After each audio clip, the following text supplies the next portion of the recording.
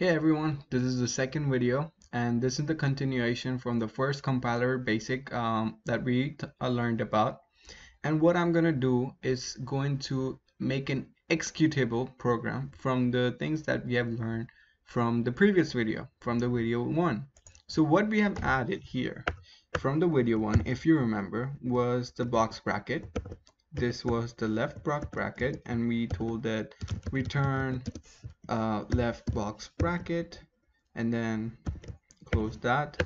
And then we have obviously the right uh, box bracket. So when we do this we return return right box bracket and so on and so forth. Now what you need to do in this video we're going to make one more addition to this is to increase our number of tokens by adding another set of parentheses which is a curly parentheses because these are all types of parentheses different parentheses that a user might be able to enter. And say if you weren't to include this parentheses the curly ones if the user would be um, input uh, would be using uh, input as curly parentheses a non NPC would be the result. All right so this is why we need to add and be precise as much as we could be in order to define the tokens so that our grammar understands what the tokens we are talking about. All right? So what we now do is return uh, left curly parentheses LCP say that and then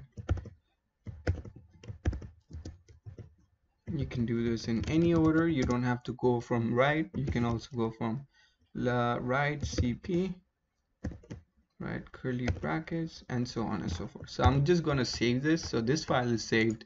And then from here what we need to do is only two tokens have been identified. And the third one being the npc so here you can see that we have only used um, more than two uh, left parenthesis right parenthesis. But here we have introduced one two three and four more parentheses. So what we are going to do is that we have told the lexical analysis that we have been introducing this number of sets of tokens this many sets of tokens.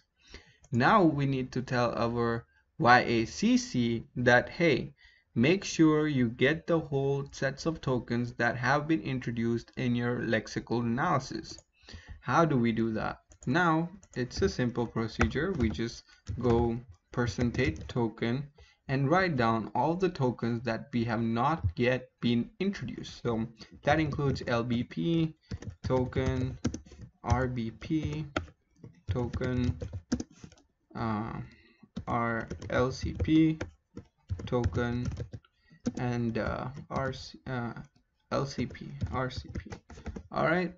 Now uh, there's one more addition to this. So here we have introduced that, hey, the sets of tokens that the lexical analysis is using is the sets of tokens that have been introduced. Now we come to the grammar part. The grammar part is important because the analysis, uh, analysis says that if the grammar is incorrect and it's not correlational to the sets of token introduced, then it might be generating an error.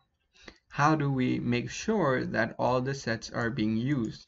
So here as an example, it says LP term RP, which basically means that whenever we are using a sets of parentheses, we always starts with the left parentheses. And then we can have a term inside it, could be a numerical or a digit, like this. And then once this is over, it could have a right parenthesis in the end. So this is exactly what the content has to mean.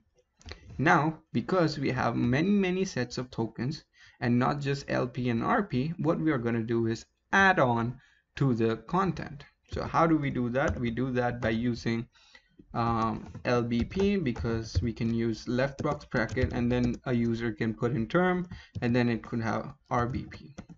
Another way is using LCP which is the curly brackets and then could have term RCP all right and then I'm just going to leave the term as term because a user can enter 9 as a number without using any sets of parentheses.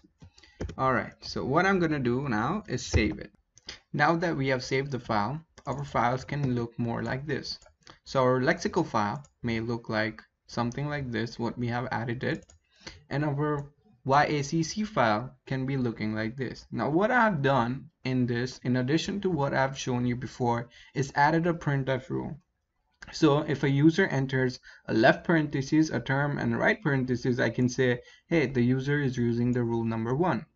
If the user is just trying to print out the left and right parentheses, we can say that, hey, it works, but the values are missing, and so on and so forth. However, when the user tries to enters a left parenthesis term left bracket or something like that in a sort of manner that is cross match and that is not allowed which may give us syntax error. So before the syntax error is printed, we want to let the user notify that, hey, syntax error, miss, there's a mismatch in parentheses. So this all different kind of combinations we can go ahead and uh, identify an input in our grammar. Once we are done with that, the way we run it is because it's something like this. You open your Ubuntu, you go and cd desktop cd compiler and then you're uh, left with something like this. Now what you want to do is type in the file name which in this case is a matcher. So what I want to do is point slash matcher. Once this is done we are shown to the next line.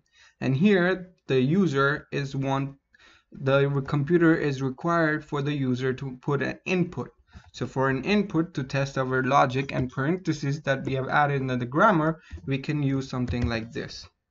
First, let's just go ahead and solve an easy example, which is just using of left and right parentheses.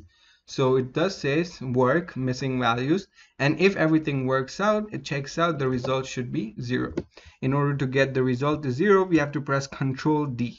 All right, now let's go ahead and test different uh, operations. So what you want to do, you can go ahead and type in dot slash matcher again if you want, or you can use the up arrow. Once you use that, you can press enter and then you can have a complicated expression, something that goes like this. So you have something like this in this, then curly brackets 3, and then you can have a box bracket, and then you can have 12 in that and then close it by using a proper set of parentheses. In this, the result is zero. However, whenever we use a different operations and different parentheses, we know that the the compiler is telling us the different rules that we have been using. So in this, we have implemented rule number two before implementing rule number three. And in this, what happens is that rule number two and three are implemented in rule number one. As you can see in our grammar file, we have added rule number one as left parentheses and right parentheses. So you can see that left and right parentheses are used inside and rule number two and three are used inside the rule number one. So hence it does make sense. All right, let's go ahead and try one more example to sort it out. All right, the next example will start with a box bracket, phi in a curly bracket, 67 and then 9 and end it with a closed block um, right box bracket. Once we're done we know that it's using rule number two. Once rule number two is done we also know that rule number three is also applicable. Notice how it did not mention the rule number one here. That the reason is we have not been using any kind of open parentheses the left or right parentheses over here in this example this is the reason why we have not been, uh, the computer is not showing us any kind of symbolism why we are not using any rules that we have not been implemented. Alright,